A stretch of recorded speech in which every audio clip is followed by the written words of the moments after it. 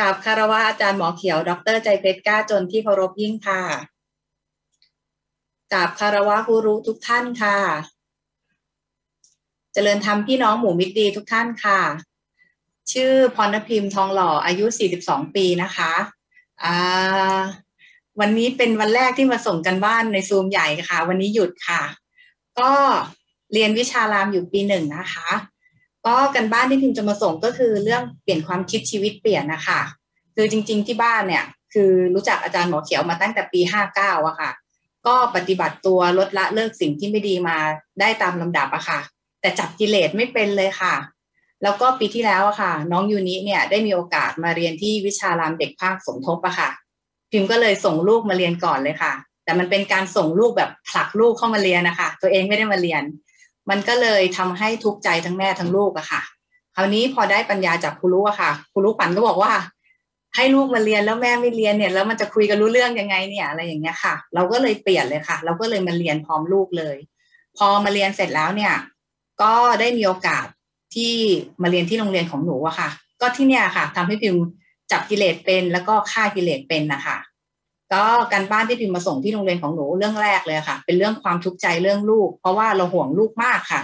มันห่วงทุกอย่างเลยค่ะ เพราะว่าในสังคมสมัยนี้ด้วยค่ะ เราห่วงแล้วพอเราห่วงปุ๊บเนี่ยเราก็เลยมีความกลัวเราก็เลยอยากให้ลูกทำในสิ่งที่เราคิดว่ามันเป็นสิ่งที่ดีอะค่ะ ก็เลยกลายเป็นพรมสามหน้าโดยที่เราไม่รู้ตัวค่ะ พอเราบังคับลูกไปปุ๊บเนี่ย พอลูกไม่ได้ดังใจ เราก็ดุลูก พอเราดุลูกปุ๊บลูกก็เลยกลัวเราอะค่ะ มันก็เป็นอย่างเงี้ยมาตลอดอะค่ะ พอมาส่งกันบ้านเนี่ย มันร้องไห้มาส่งเลยค่ะ เพราะมันหาทางออกไม่เจอค่ะ แล้วครูรู้ก็เลยให้ปัญญามาค่ะ พอพิมพ์ได้ปัญญามาเนี่ยมันก็คลายใจเรื่องลูกอะค่ะ ก็เลยทำให้รู้ว่า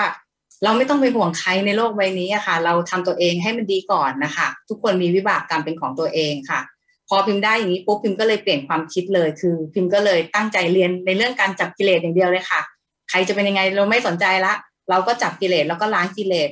แล้วก็เพิ่มศีลของเราไปเรื่อยๆ ทุกวันทุกวันนะคะแล้วคราวนี้สิ่งที่มันได้ขึ้นมาจริง ๆ ก็คือทุกอย่างมันดีขึ้นตามลำดับเลยค่ะ ลูกเราก็ดื้อน้อยลง แล้วก็เราก็ทุกใจเรื่องลูก น้อยลงน้อยลงอะค่ะ แล้วก็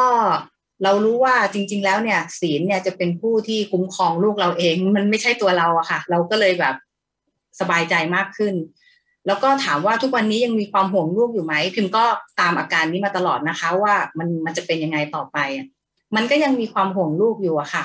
แต่มันไม่ทุกข์ใจเหมือนเดิมแล้วอะค่ะ พอทุกครั้งที่มันเกิดเหตุการณ์ที่เราห่วงลูกขึ้นมาเนี่ย เราก็เรามีวิชาแล้วอะ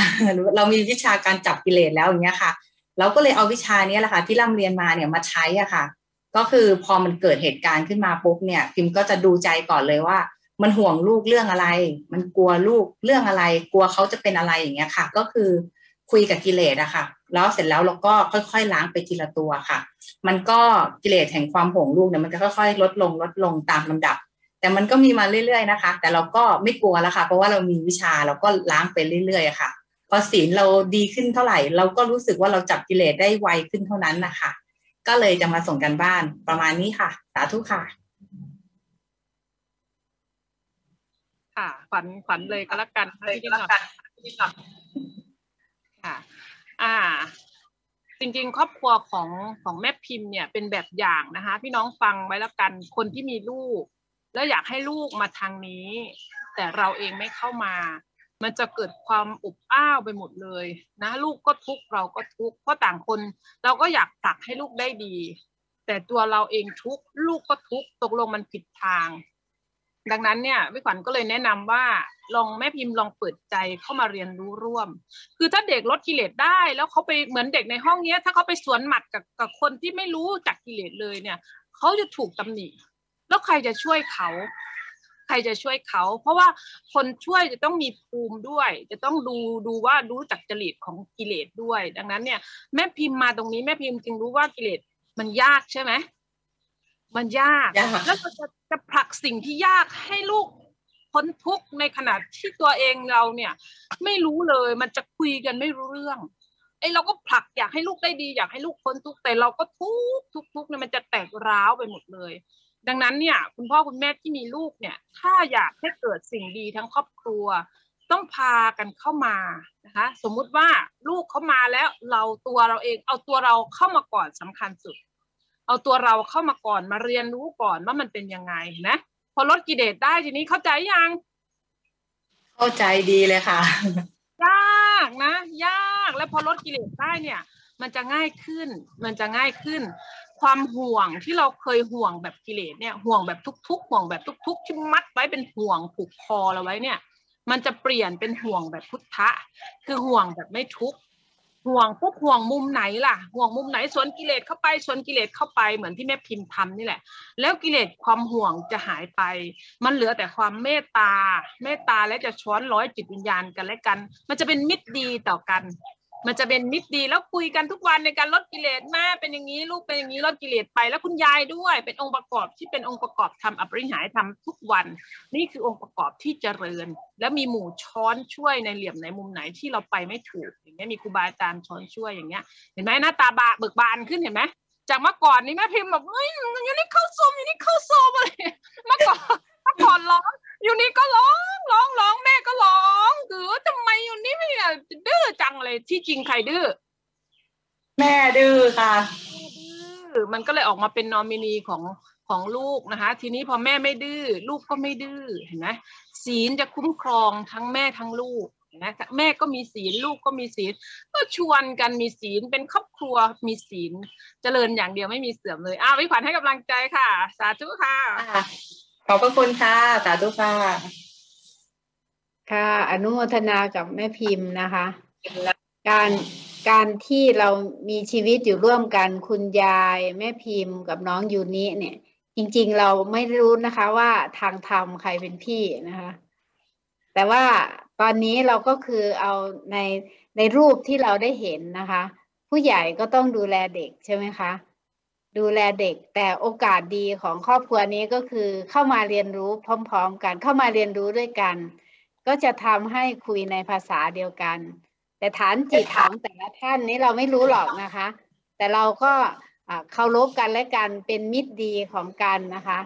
เราเคารพเด็กเราก็เคารพเขาได้นะคะ ในส่วนที่เป็นสภาวะของเขาที่เราจะเขาพูดมาบางทีแม่พิมพ์อาจจะ ได้ลูกนั่นแหละค่ะ สอนนะคะ เพราะว่าเราไม่รู้ว่าสภาวะที่คือเราไม่รู้ว่าแต่ละคนเนี่ยมาในแบบที่สิ่งที่มีมานะคะ สิ่งที่มีมานี่แต่ละคนมีมามากมาน้อยแค่ไหน แต่โชคดีหรือว่าเป็นกุศลของครอบครัวนี้นะคะ ที่ทำให้ได้มีมีมิตรดีหลายรุ่นนะคะรุ่นค่ะคะ ซึ่งมิตรดีที่เรามีเนี่ยจะเป็นจะเป็นผู้ที่จะช่วยให้พวกเราเจริญไปด้วยกันนะคะ จะบอกว่าเด็กเขาจะช่วยเราให้เจริญขึ้นได้ ขณะที่เราก็จะช่วยเด็กเจริญขึ้นนะคะ คุณยายก็เป็นองค์ประกอบหนึ่งที่จะช่วยให้หลานเจริญขึ้น แล้วหลานก็จะทำให้คุณยายเจริญขึ้นได้เกื้อกูลกัน นี่คือมิตรดีกลุ่มเล็กของเรานะคะ แล้วก็มามีมิตรดีกลุ่มใหญ่อีกนะคะ ยินดีกับครูพิมพ์ค่ะ อนุโมทนาค่ะ ค่ะขอบพระคุณค่ะ สาธุค่ะ ค่ะ ต่อไปเป็นนวลนภาเอนวลนภา เดี๋ยวนะคะเอาครูจิ๋วนะคะครูจิ๋วเปลี่ยนเปลี่ยนชื่อข้างหน้าตรงนี้นะคะ ปกติจะไม่เห็นชื่อนี้โอเคขอค่ะ อภัยค่ะพอดีใช้อีกเครื่องหนึ่งวันนี้เคลื่อนตัวไปข้างนอกอะค่ะกราบค่ะคารวะอาจารย์หมอเขียวที่เคารพยิ่ง กราบคารวะครูทุกท่านเจริญธรรมสำนึกดีพี่น้องทุกท่านค่ะวันนี้เมื่อกี้มีลูกค้ามาหน้าร้านด้วยค่ะ แล้วก็ท่านเป็นมะเร็งแต่ว่ารอสักครู่นะคะ ขอส่งกันบ้านสักนาทีเดียว วันนี้คือมันเป็นการที่เราเคลื่อนไปหาผัสสะที่ที่มีเยอะๆค่ะ อาจารย์บอกว่า ถ้าเราอยู่คนอยู่ในสวนสามเนี่ยมันมีแค่ผัสสะแค่สามผัสสะที่ปัจจัยมีแค่ตัววิ่งแค่สาม วันนี้ก็เลยเคลื่อนไปที่สันติอโศกนะคะ แต่เราก็ไม่ได้ประมาทเรามีหน้ากากนะคะ แล้วก็โอ้ได้ไปเชื่อมแล้วกับพี่น้องเจอพี่น้องจิตอาสาภาคกลางมันทั้งหมดเนี่ยข้างนอกมันดูวุ่นวายวุ่นวายแต่เมื่อเรามีความยินดีมีฉันทะค่ะไอ้ความวุ่นวายต่างๆ มันสงบนิ่งมากเลยค่ะครูรู้ แล้วก็อย่างที่ครูบาอาจารย์บอกจริง ๆ ด้วย ถ้าเราอยู่นิ่งๆอยู่ในที่แค่มีเอ่อมีผัสสะอยู่แค่ไม่ไม่เท่าไหร่ มันสู้ที่มีเยอะๆดีกว่า แล้วเราก็มีปัจจัยอะไรที่ใหม่ ๆ มันเจอกิเลสตัวหนึ่งค่ะ ตัวความกลัว กลัวอะไรรู้ไหมคะ กลัวที่จะต้องมีงานเพิ่ม โอ้เราก็เหมือนหลบหลบหลบหลบปรากฏว่ายิ่งหลบแล้วก็ยิ่งคิดว่า เออเราหลบแล้วนะ แต่มีเสียงเรียกมาเลยอ้าวจิ้วจิ้วทั้งถ่ายรูป ทั้งเอาของที่มาแบ่งปัน โอ้โห ได้ได้ ได้บุญได้กุศลเพียบเลยค่ะ กระชายก็มาตั้งสิบโล แล้วก็หอมแดงอีกเป็นห้าโล เพราะว่ามันความกลัวเนี้ยมันก็เหมือน โอ้ได้กุศลแล้วยังไม่ยอมเอาเพราะว่ามาทีละมันก็คือเราเนี่ยแหละค่ะที่จะต้องมาทำแบบแบ่งกระจาย แต่ว่าทุกอย่างเดี๋ยวนี้ต้องทำแบบเด็กๆค่ะ โอ้กิเลสขี้เกียจแล้วก็โง่ แล้วก็กลัว มันก็ทำไปพร้อม ๆ กับที่บ่นไปด้วยเด็ดมันก็เสร็จได้อย่างรวดเร็ว ตอนนี้ก็มาเปิดหน้าร้าน แล้วก็ยินดีบำเพ็ญค่ะ อันนี้แหละเป็นเหตุและปัจจัยถ้าเกิดว่าเราได้ไปเพิ่มในการที่ยินดีกับสถานการณ์ทุกๆ สถานการณ์ก็จะสุขใจได้กับทุกสถานการณ์ค่ะ ประมาณนี้ค่ะครูรู้ขอบพระคุณค่ะ ยินดีและกตัญญูต่อการบำเพ็ญค่ะค่ะขอบพระคุณค่ะ อ๋อได้ทำทั้งบุญและกุศลเลยนะคะพอมีความกลัวเกิดขึ้นก็ได้ล้างความกลัวนั้นนะคะ กลัวงานเพิ่มนะคะ แล้วก็ได้ทำกุศลด้วย ได้ทั้งทำบุญและทำกุศลไปพร้อม ๆ กันนะคะ สรุปว่าจะกลัวหรือไม่กลัวอ่าวิบากดีร้ายก็สังเคราะห์กันให้เราได้บำเพ็ญอยู่นะคะอนุโมทนากับพี่จิ๋วค่ะขอบพระคุณค่ะเพิ่มคาถานิดนึง เชิญค่ะขวัญเอาเอาไปสวนหมัดมัน ถ้าเองกลัว เดี๋ยวเองก็โง่หรอกไปทำกับข้าแบบนี้ค่ะมหาศาลนะนะคะ ได้ทั้งบุญทั้งกุศลเลยสาธุค่ะขอบคุณค่ะครูบานแม่เบิกบานแบบแบบเบิกบานอะค่ะสาธุค่ะ เพราะกุศลเรานะคะพอเกิดความกลัวเขาก็ดึงเหตุการณ์มาให้นะคะ ให้ได้ล้างความกลัวนั้นด้วยใจเป็นสุขด้วยนะคะอ่าองค์ประกอบได้ทำกุศลเพิ่มนะคะ ซึ่งจุดที่พี่น้องเราหลายท่านนะคะ สภาวะนี้เป็นประโยชน์มากเลยนะคะอ่าบอกว่ามาเสียสละค่ะ มาเสียสละมาช่วยทำงานนะคะ มาช่วยการบำเพ็ญแต่ทีนี้พอจะบำเพ็ญยังมีการเลือกอีกนะคะ อ่าไอ้นี่ถูกใจไอ้นี่ไม่ถูกใจใช่ไหมคะ ตรงนี้น่ะก็คือเป็นเป็นประโยชน์ที่ที่เราจะได้รับจากการที่เราทำใจในใจไว้เราก็จะรู้ว่าเออตรงที่เราบอกว่ามามาแบ่งปันแหละแบ่งปันแรงกายอย่างเงี้ย แต่ยังยังมีเออมีความกลัวขึ้นมา อย่างเงี้ยก็องค์ประกอบเหตุปัจจัยนี้ทำให้ได้มีกุศลได้พบกิเลสแล้วก็ได้ล้างกิเลสนะคะ ขอบคุณเหตุการณ์ได้นะคะ พี่จิ๋วก็ขอบคุณกับเหตุการณ์นี้ แล้วก็พลังเหล่านี้นะคะ พลังที่ล้างกิเลสได้ก็จะเป็นพลังเหนี่ยวนำให้พี่น้องอื่นได้ทำตามด้วยนะคะ พี่น้องได้ฟังก็จะได้รับประโยชน์จากการบ้านนี้ของพี่จิ๋วนะคะค่ะมาพี่สอนค่ะ เชิญพี่สอนไพรดินพุทธค่ะ